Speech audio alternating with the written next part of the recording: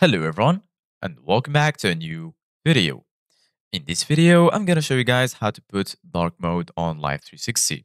So if you guys want to learn how to do it, just follow the steps that I'm gonna show you. As you can see guys, I am right now in Life360 and this is how the homepage looks like. So right here in the bottom, you're gonna find all of the uh, sections. So there is uh, location, driving, safety, and also membership. If you go right here in, in location and you go to the top of your screen, you're gonna find your current circle. If you click on it from here, you're gonna find a list that includes all of your uh, circles.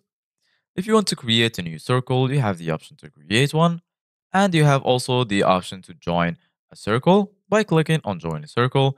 And then right here, you need to enter the invite code to join that circle. So right now, in order to go to the settings, go ahead and click on the gear icon in the top left corner. And then right here, you're going to find all of the available settings in Live 360. So right here, as you can see, guys, we have family settings and also the universal settings.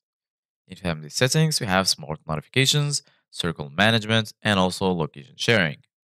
And in universal settings, we have account, drive detection, privacy and security, support, about, and lastly, the uh, logout option.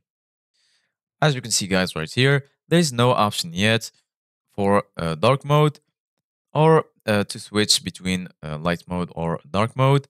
As you can see, guys, I even switched my phone to uh, dark mode, but the application doesn't change to dark mode. This option is not available yet, but they may add it in the future. So this is guys for today's video. Thank you guys for watching. See you guys in the next video.